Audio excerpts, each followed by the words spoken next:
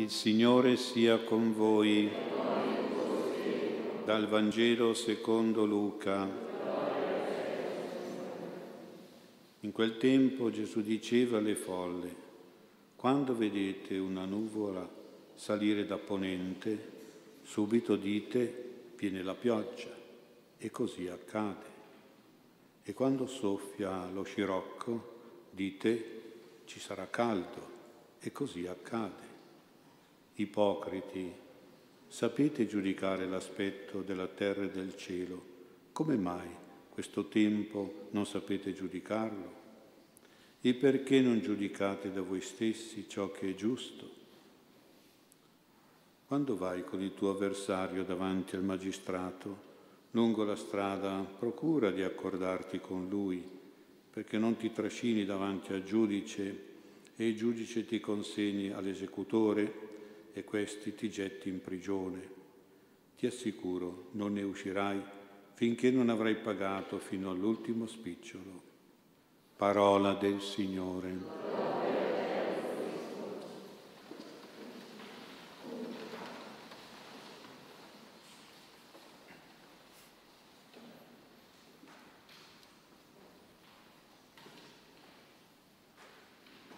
Sia lodato Gesù Cristo. Col Vangelo di questa sera Gesù vuole renderci capaci di usare e di godere dei suoi, dei sette santi doni dello Spirito Santo, in particolare dei primi due doni che sappiamo sono la sapienza e l'intelletto. Sono doni dello Spirito ma che poi devono diventare un nostro dovere di uso di questi doni, devono diventare nostra responsabilità.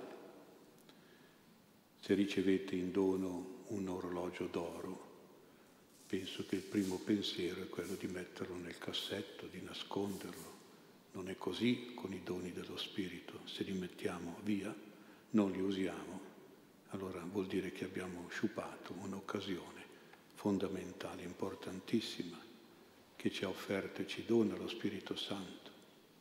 Se io dono una macchina a una persona, è poi sua responsabilità usarla bene, guidarla bene, con la patente, con i tagliandi, con il codice della strada.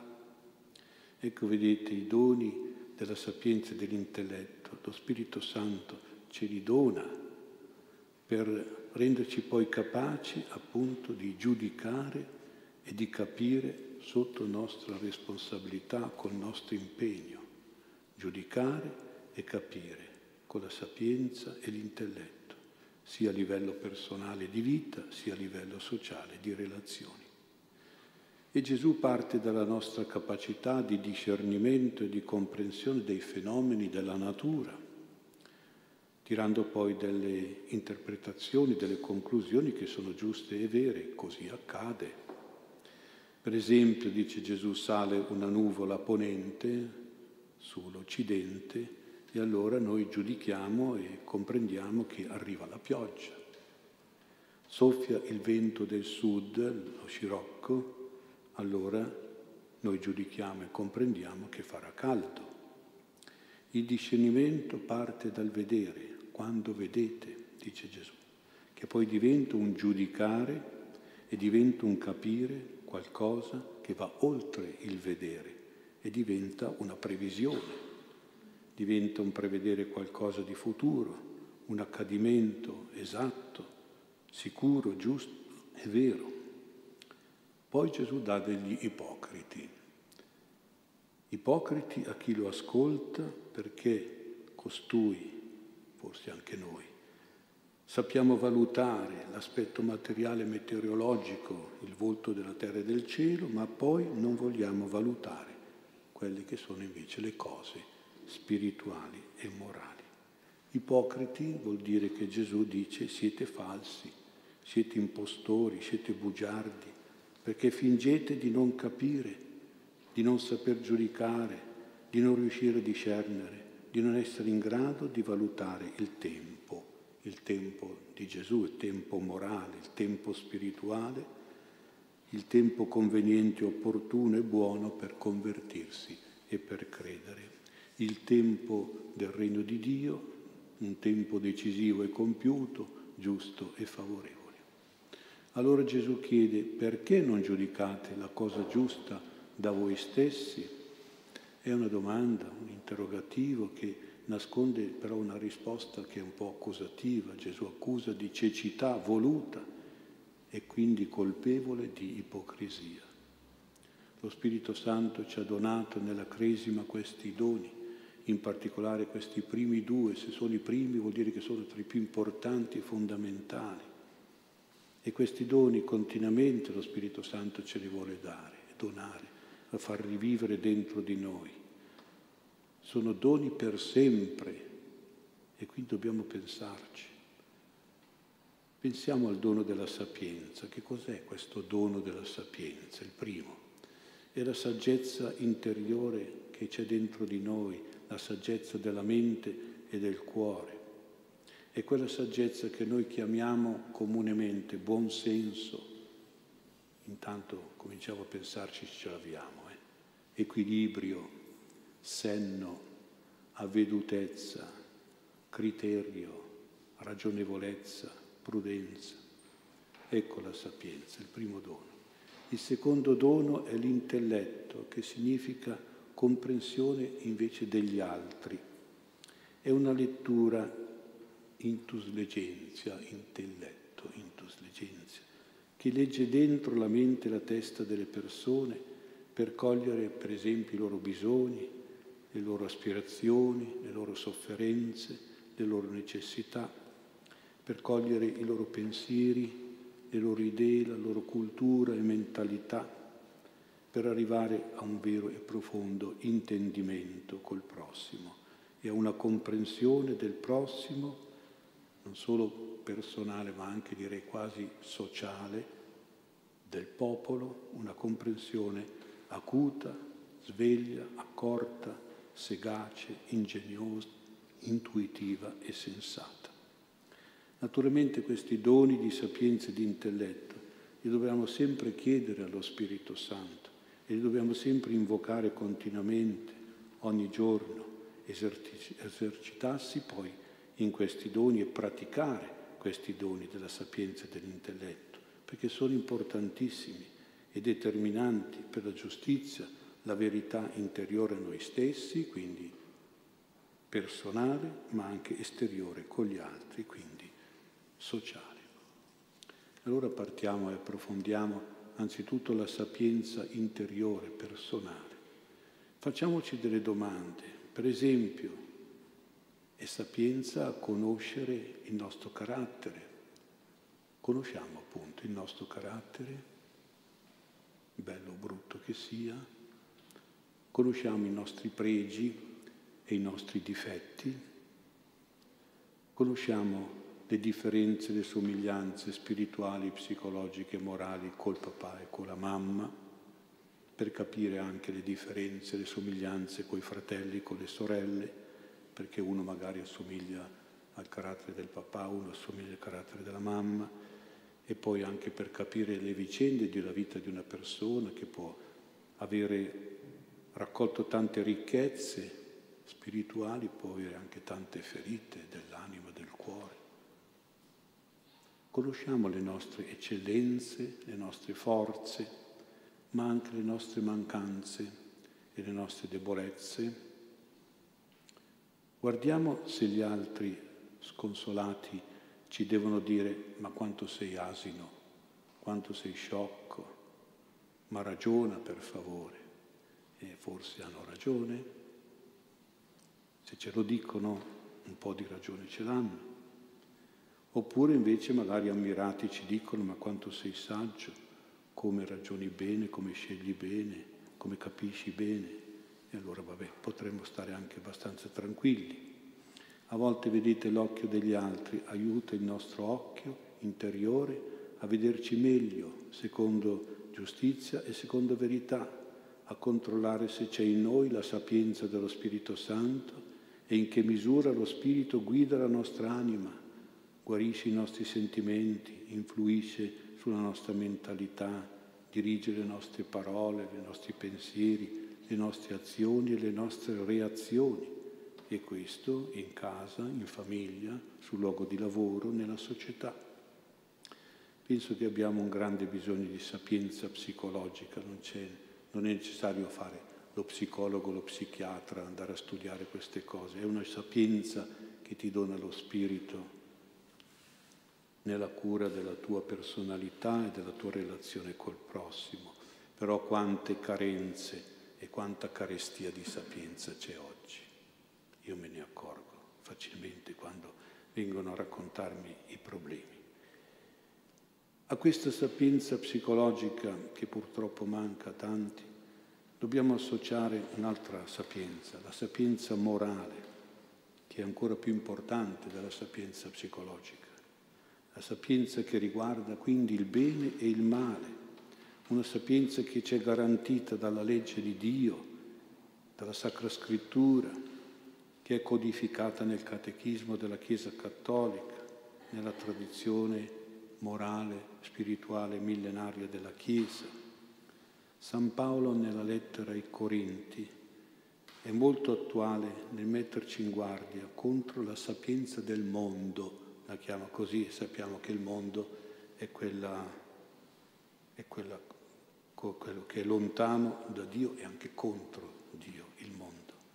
Sapienza del mondo, cos'è questa sapienza del mondo? Guardate che possiamo anche precisarla oggi, è il mondo per esempio della sinistra politica, dei laicisti, dei liberali, degli anarchici, dei massoni, che dice Paolo con sottigliezze, sottili ragionamenti, dice così, con sottili ragionamenti portano avanti delle leggi che sono incivili e immorali, leggi quindi stolte, insipienti e ingiuste, che non sto ad elencare perché sono conosciute sbandierate, propagandate, votate e sfruttano il vento favorevole dell'ideologia di sinistra o della idiocrazia progressista.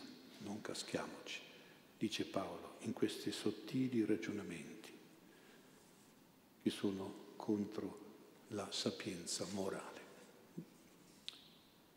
Veniamo ora all'intelletto, l'intelletto che ci relaziona col prossimo, che ci connette con gli altri. Anche qui facciamoci delle domande. Sappiamo per esempio collegare gli effetti a una causa, a monte c'è una causa di certi effetti. Sappiamo collegare le conseguenze dai moventi che sono prima. Sappiamo prevedere le reazioni degli altri in base al nostro agire verso gli altri. Sappiamo giudicare l'esito di certi comportamenti del nostro prossimo come frutto conseguenza del nostro comportamento con loro. Per esempio, faccio esempi in campo educativo e familiare, perché sono quelli che ci coinvolgono. Un genitore deve capire che se tratta il figlio in modo positivo, cioè con affetto, con ascolto, rispetto, fiducia, simpatia, eccetera, il figlio si comporta poi bene, è buono, è giusto, è sereno, crescendo acquista una personalità calma, sincera, forte, generosa e una socialità benevola, altruista, corretta, pacifica. Se invece un genitore tratta un figlio in modo problematico, cioè con severità, con critica, con nervosismo, con disistima, con offesa. Il figlio si comporterà con insofferenza, con timidezza, con insicurezza, con rabbia e crescendo acquisirà una personalità lunatica, insoddisfatta, triste, bugiarda, paurosa e una socialità permalosa, impaziente, sgarbata, scontenta, pigra. Se peggio un genitore tratta un figlio in modo negativo, cioè con abbandono, indifferenza, con castigo, umiliazione, oppressione, litigio, eccetera, il figlio si comporterà in modo sempre duro, difficile, delinquente, immorale e crescendo acquisirà una personalità ribelle, viziosa, odiosa, ingiusta, disonesta e una socialità aggressiva, disfattista, eversiva, rissosa e vendicativa. Ho fatto qualche esempio. Una panoramica educativa che dice l'importanza di un intelletto giusto nel, nell'avere con gli altri, nel trattare gli altri, soprattutto in famiglia. E qui però passiamo anche a livello sociale, a livello politico. Se si fanno dei decreti, delle leggi che si ritengono essere giusti, ma poi ci si accorge o ci fanno vedere che al di là delle buone intenzioni e delle giuste finalità che noi pensiamo, ci sono delle conseguenze negative, ci sono delle discriminazioni, delle ingiustizie nel merito della legge o anche nel metodo in generale.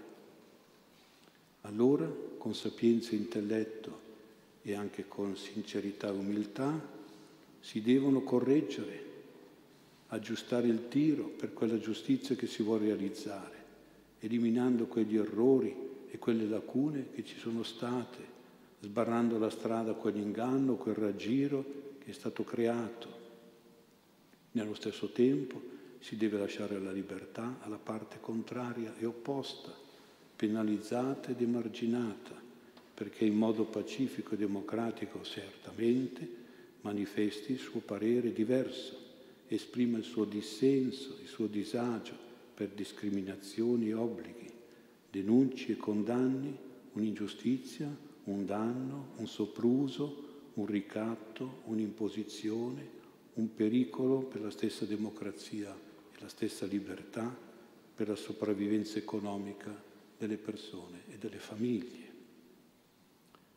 Tutti sappiamo che per ogni medicina, per ogni cura ci sono benefici e danni, effetti favorevoli ed effetti avversi. Li leggiamo anche sul foglietto che è allegato ai farmaci, dove c'è scritto per che cosa fa bene, ma anche per che cosa può far male. Per cui noi possiamo regolare giustamente la cura nei modi e nei tempi di assunzione, tenendo presente che il dubbio segnalato dalle controindicazioni, come dicevano i saggi latini, il dubbio è l'inizio della sapienza. Dubium sapientiae initium, dicevano secoli fa i nostri padri latini. Il timore, la perplessità, l'incertezza mi spingono a indagare, questo è un buon segno, di più, a studiare, ad approfondire, a calcolare, a sperimentare, a ragionare, a raccogliere statistiche, ancora di più, ancora meglio, per arrivare a quella giustizia, a quella verità che mi fa evitare errori fatali, inganni e imbrogli, interessi e raggiri, complicazioni e disagi, danni e disastri. Questa è la sapienza, questo è l'intelletto dello Spirito Santo. Purtroppo noi spesso siamo condizionati dalla cultura del partito, nel senso che ci schieriamo da una parte contro un'altra parte la parte, il partito sbilancia la visuale a favore di alcuni a scapito di altri, estremizza la sua parte ed è cieca nei confronti dell'altra parte. Il partito non vede il tutto di giustizia e di verità, ma solo una parte, appunto, perché è partito. E questo ci toglie la lucidità e la complessità delle situazioni reali, fa prendere provvedimenti senza saggezza e senza equilibrio. Il confronto con l'altra parte, la concordanza con l'altra parte è fondamentale per evitare norme irrazionali e contraddittorie, per realizzare una giustizia, una verità veramente completa e perfetta, il più possibile almeno, con leggi più giuste, più rispettose, più sapienti e sagge per tutti. Infine l'ultima parte del Vangelo ci riporta coi piedi per terra in una dimensione realistica, direi quotidiana, quasi paesana. È il realismo del nostro essere molto spesso ingiusti con gli altri, volenti o nolenti, che ci scorgiamo o no, ingiustizie ne facciamo ogni giorno con gli altri, in un modo o in un altro, insomma. O se perché non facciamo giustizia, no, o ci manchiamo di giustizia, siamo contro la giustizia, siamo senza giustizia, insomma, quindi la quotidianità di avere un avversario è normale, un avversario a cui abbiamo fatto dei torti, delle offese, dei danni, delle dimenticanze, eccetera. Ebbene, se sei saggio, dice Gesù, se, sei, se hai un po' di sapienza, se tieni un po' di intelletto, vedi di accordarti con il tuo, tuo avversario lungo la strada, vuol dire, insomma, incontralo parlagli, vediamo. Non metterti nelle mani di avvocati, di giudici, che poi perdi la causa, finisci in prigione, paghi tutto fino all'ultimo prima di uscire, dice Gesù. Saper chiedere scusa, saper mediare una riparazione o più semplicemente cercare una conciliazione, una trattativa, è una sapienza importante, è un intelletto molto proficuo, è davvero una grazia dello Spirito Santo, per non rovinarci con cattiverie, con litigi, con discordie, con cause, processi. E ce ne sono tantissime, mi dicono gli avvocati, che non sanno più come, dove mettere i fascicoli di queste cose, magari per anche stupidaggini o cose veramente che si potrebbe concordare facilmente e pacificare.